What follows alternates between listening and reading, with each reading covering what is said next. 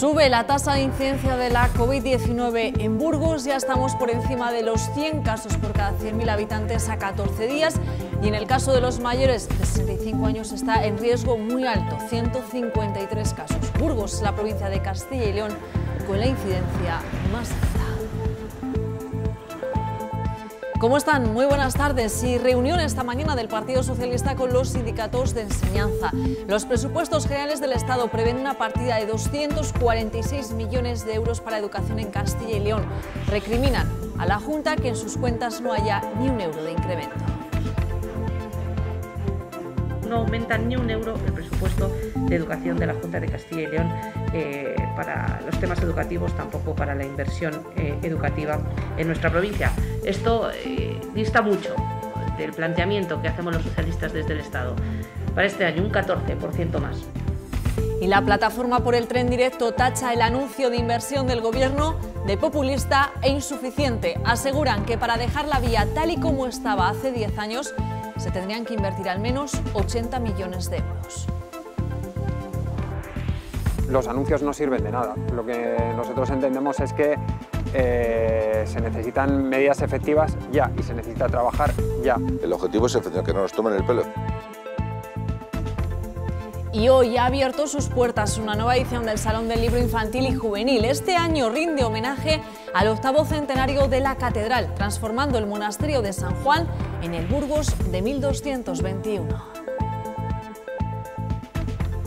Arbolín lo que va a ser dinamizar, participa también un poco en las visitas guiadas de los fines de semana con varias intervenciones y luego haremos para los niños pues diferentes juegos. Desde los más quietecitos que se van a poner a hacer sus miniaturas como los antiguos monjes hasta los más movidos que van a hacer pues, tiro con arco. En deportes las horas van pasando y se acerca el regreso del cross de Atapuerca. Después de un año de parón forzoso, vuelve la mejor prueba a campo a través del mundo y lo hace con más de 4.000 atletas inscritos llegados de numerosos países que no se han querido perder una carrera que se podrá seguir en directo aquí, en la 8 Burgos. Tristeza. 19 pruebas, 19 categorías, que van a recoger a 16 eh, nacionalidades, ¿no? por lo tanto, pues eh, es un cross de, de, muy alto nivel. Eso garantiza que seguramente siga siendo el mejor cross del mundo porque van a venir los mejores del mundo y los mejores de España. Esta noche cesará el viento nordeste y quedarán los cielos despejados, por lo que mañana amaneceremos con nieblas heladas y escarchas. A cambio tendremos un día muy soleado en general, sin viento y con temperaturas agradables al mediodía.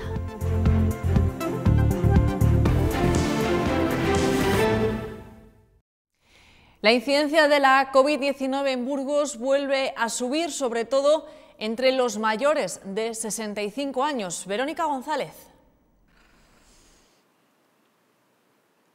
Los contagios entre los mayores de 65 años están en aumento. Los datos reflejan lo siguiente y es que se han diagnosticado 154 casos por cada 100.000 habitantes en los últimos 14 días. Ahora mismo es la provincia con más contagios entre los de 65 años de toda la comunidad e incluso más del doble de la media de Castilla y León, pero no solo en los mayores de 65 años, sino también en la población en general, que ahora mismo se registran 109 casos por cada 100.000 habitantes en las últimas eh, dos semanas. Y es que el 7% de las pruebas resulta positiva. El dato positivo es que ahora mismo la ocupación hospitalaria es baja. Hay tres personas en la UCI y 22 en planta.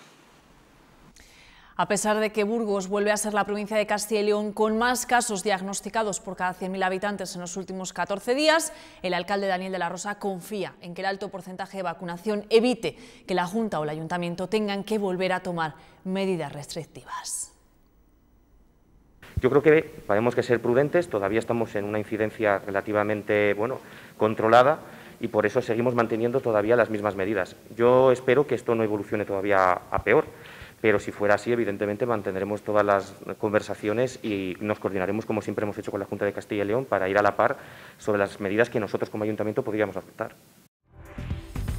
Por cierto que este martes sumamos en Burgos 30 nuevos contagios, una cifra superior a la de ayer y también a la de hace una semana. Nuestra provincia es la segunda con más positivos hoy, solo por detrás de Valladolid.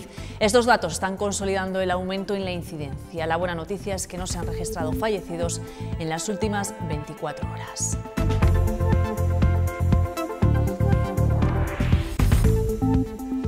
Y seguimos con más asuntos. Las cifras fueron terribles en los 90 y hoy, a pesar de los avances médicos, sigue muriendo gente por SIDA.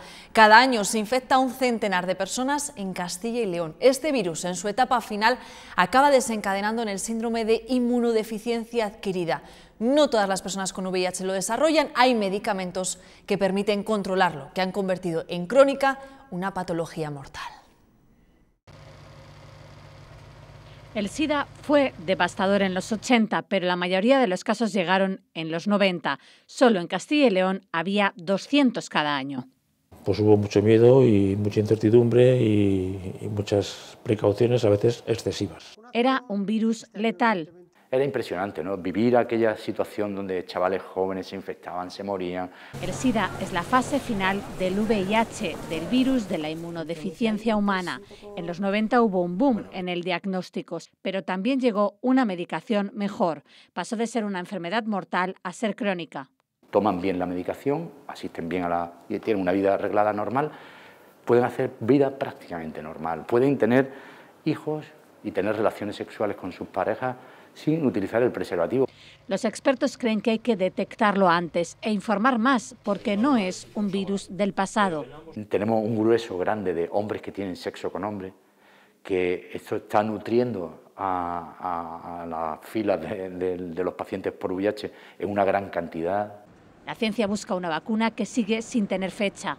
En todos los congresos mundiales en los que he asistido durante muchos años sobre SIDA en distintas partes del mundo, siempre faltaban cinco años para la vacuna de SIDA. 40 millones de personas han fallecido de SIDA en todo el mundo. Esta pandemia parece no tener fin.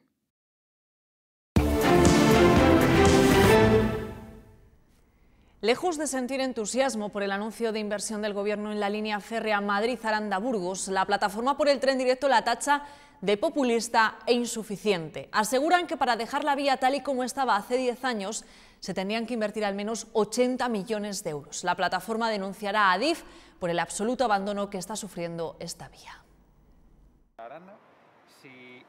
Los 10 millones anunciados para el ferrocarril directo no son, a juicio de la plataforma por el tren, ni mucho menos suficientes. Viene acompañado de mucho populismo y mucha ignorancia. Ni siquiera para despejar el túnel de Somosierra cortado al tráfico por un derrumbe desde hace una década. Ese túnel estará, estará completamente caído ya. Y siendo muy optimistas, aseguran el gobierno no podría garantizar que haya reapertura hasta el 2025. Un estudio de viabilidad en marcha que puede durar unos 12 meses. Hay un estudio técnico a posteriori de este estudio de viabilidad, que puede durar otros 12 meses.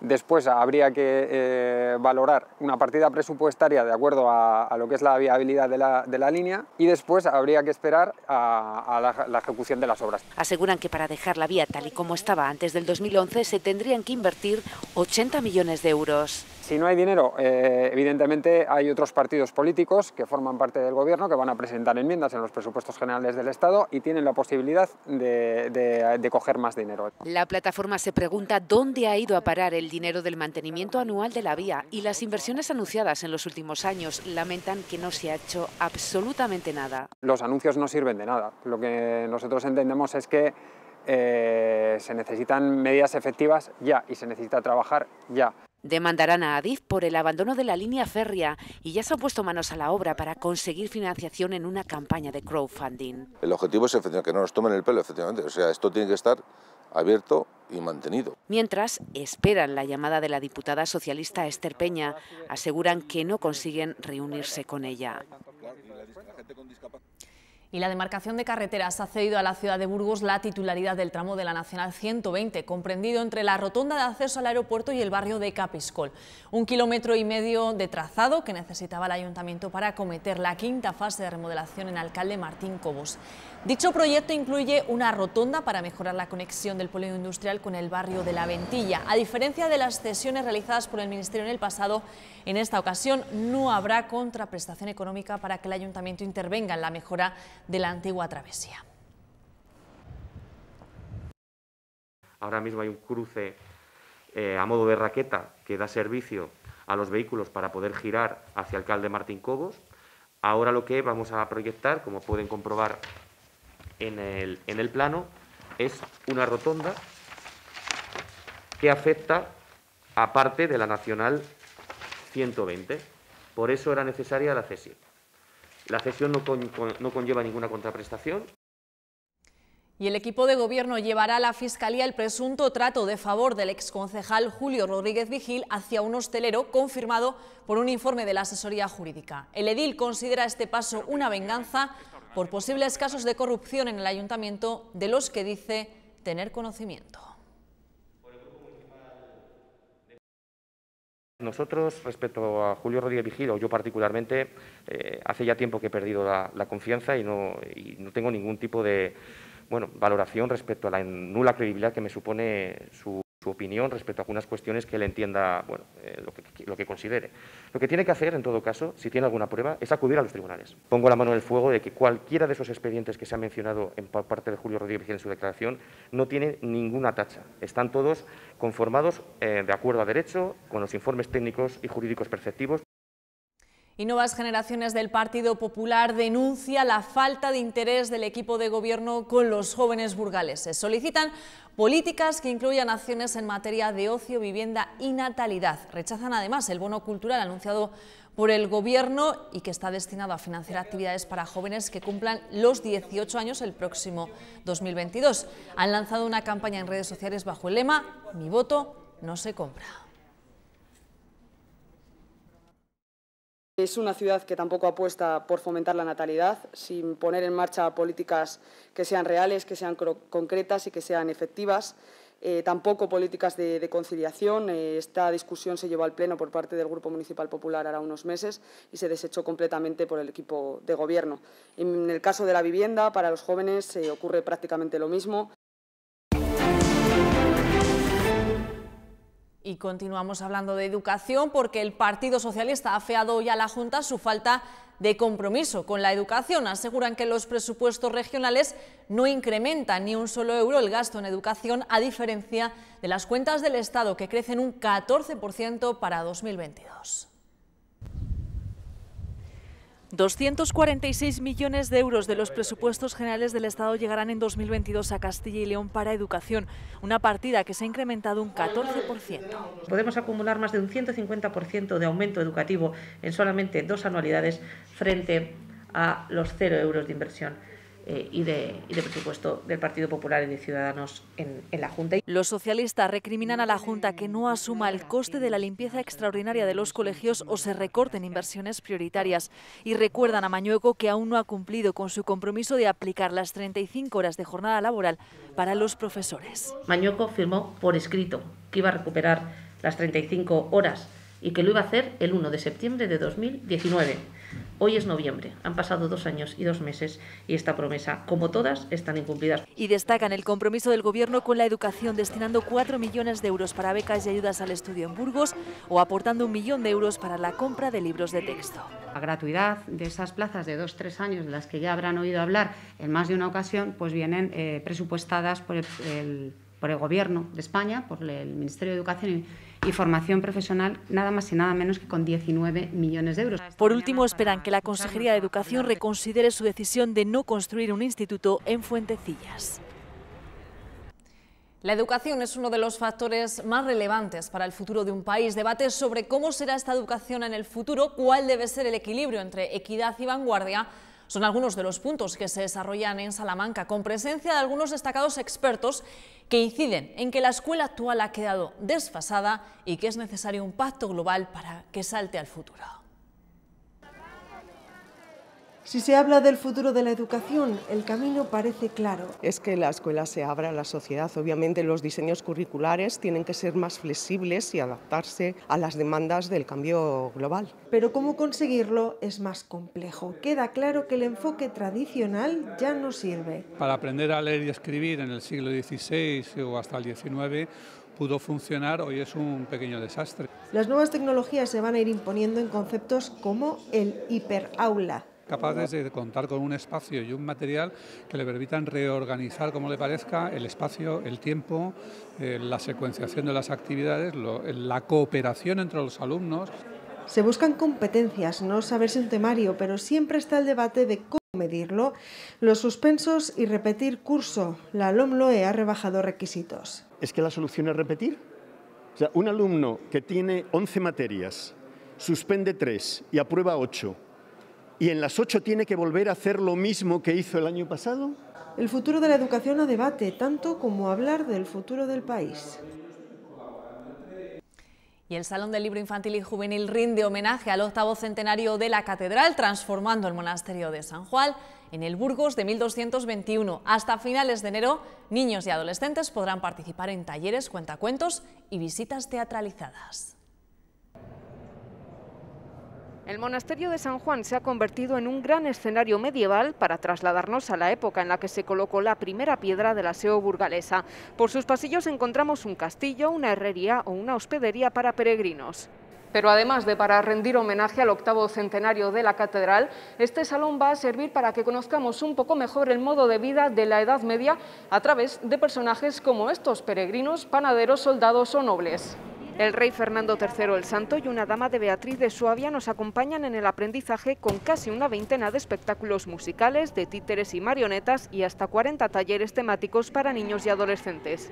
Desde los más quietecitos, que se van a poner a hacer sus miniaturas, como los antiguos monjes, hasta los más movidos, que van a hacer pues, tiro con arco. Gargolín nos guía por la exposición, las visitas teatralizadas, actividades de animación a la lectura y juegos como esta gran oca de la catedral. Ellos tendrán que buscar numerosos secretos que se encuentran en el centro y a la vez descubriendo cosas que pueden ser importantes pues para tanto para su enriquecimiento cultural como para aficionarse a la lectura, que es el propósito del Salón del Libro. Y en las estanterías, decenas de recomendaciones de libros sobre dragones y castillos que podrán anotarse hasta el último día de enero.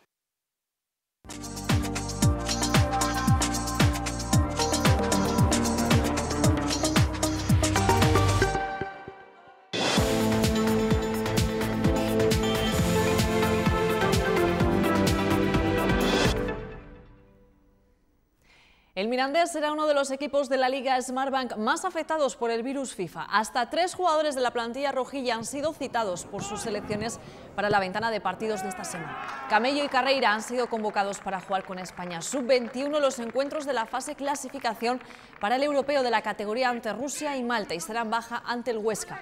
Por su parte, Hassan jugará con el combinado francés sub-20 un amistoso contra Alemania y podría llegar a tiempo para el choque liguero, aunque sin entrenar con el grupo. Tampoco estará a disposición de Lolo Escobar o Dey por lesión. Julián Calero también tendrá que reemplazar una baja muy importante ante la Ponferradina. Unai Elguezábal vio la quinta cartulina amarilla el pasado fin de semana, por lo que el técnico burgalesista tendrá que pensar quién ocupa el lugar del vizcaíno, una pieza clave en su esquema. En otro orden de cosas, el Burgos ha activado la posibilidad de la cesión de abonos con un simple trámite a través de la web del club. Se cumple el derecho de la gran parte de la masa social blanquinegra.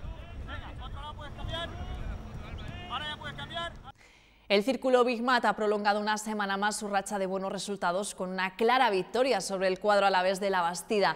Tras un primer tramo igualado, los de Raúl Zamora pisaron el acelerador y dejaron el partido encarrilado al descanso con un claro 6 a 1.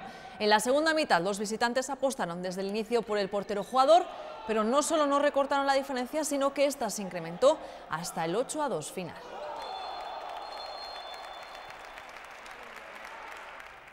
El domingo 14 volverá una de las competiciones más importantes, no solo del calendario deportivo burgalés, sino también del panorama de carreras mundiales. En su presentación ha estado Juan Abril, cuéntanos.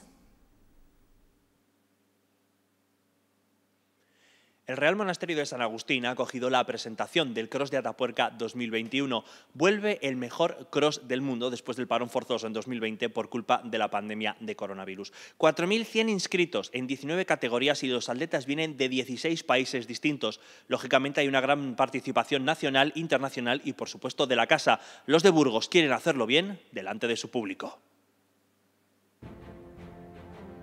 Cada vez queda menos para que se vuelva a celebrar el mejor cross del panorama mundial. Los principales especialistas del globo se darán cita en una prueba que vuelve tras el parón y en la que los atletas de casa quieren hacer un buen papel. Atapuerca me lo tomo siempre súper en serio, como, bueno, como casi todas, como todas las competiciones a las que voy y lo quiero hacer lo mejor posible y si es eh, ante mi gente, ante eh, esa gente que te anima día a día en los parques eh, donde entrenamos, pues aún más. El regreso de las carreras ha supuesto un gran alivio para unos deportistas que no pudieron competir durante muchísimo tiempo y que ven la luz al final del túnel. Estar 18 meses sin competiciones pues ha sido bastante duro y ver ahora un poco la luz al final del túnel. La prueba también es valedera en el caso de los atletas nacionales como clasificatorio para el Campeonato de Europa. Estar en Dublín aún así no es una prioridad para todos los participantes. Tengo otros objetivos, eh, mi objetivo es el, el Campeonato de Europa de aire libre, que es en verano, entonces va toda la preparación va estrictamente regulada para ese, para ese campeonato. Mi último campeonato de Europa como sub-23, como has dicho, creo que tenemos un muy buen equipo en, en, España, que podemos hacerlo muy bien, que vamos, deberíamos estar en las medallas. Las carreras sub-20 y absolutas de este cross de Atapuerca se podrán seguir en directo el domingo en la 8 Burgos. Vuela sobre Atapuerca. Y una canasta de la internacional española Beatriz Zudaire a 16 segundos del final dejó al Serviges sin victoria en la pista de Lucán Murcia. El partido estuvo tremendamente igualado durante los 40 minutos con el equipo de Rodrigo Escudero dominando casi siempre el marcador pero con ventajas muy exiguas.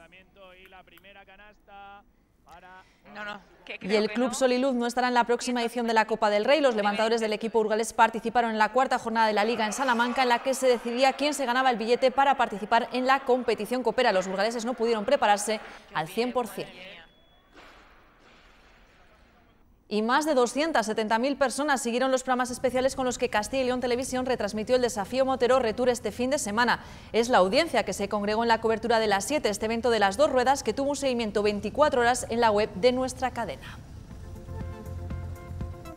Así nos despedimos, más noticias esta tarde. Ahora la previsión del tiempo. Gracias. Adiós.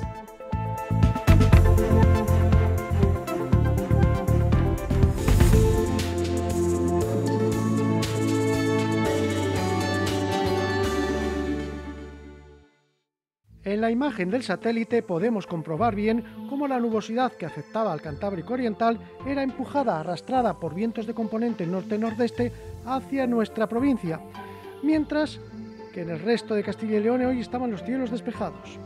Y en la situación prevista ya para mañana, la borrasca Blas sigue en el Mediterráneo, mientras en la península las altas presiones dominan el panorama meteorológico.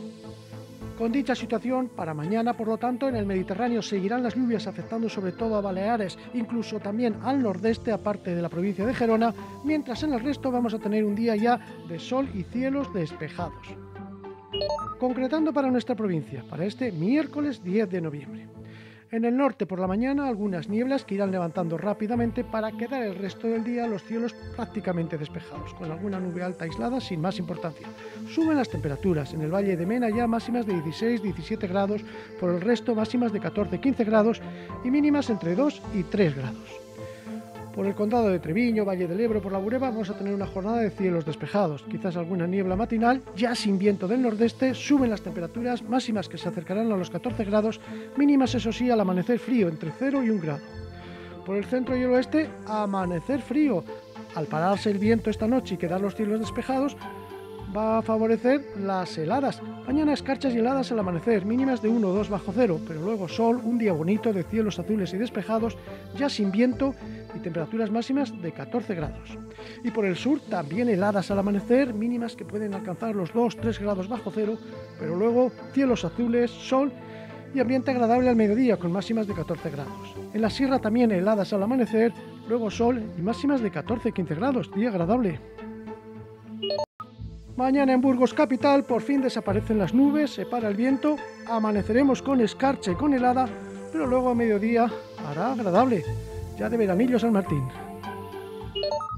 Un veranillo que se va a prolongar en los días siguientes, el jueves, el día de San Martín, como no, con sol y cielos despejados, y el viernes y el sábado con algunas nubes, pero con temperaturas agradables a mediodía. La pasada entrada fría nos dejó precipitaciones de nieve ya en las zonas montañosas y así se veía el Mencilla desde tierras de Lara. en una zona donde los quejigos ya muestran su plena coloración de otoño, algunos de ellos, como vemos en esta foto, llenos de agallas. Mientras, aquí en la capital, así de magnífico se presenta el Parque Lineal Río Vena.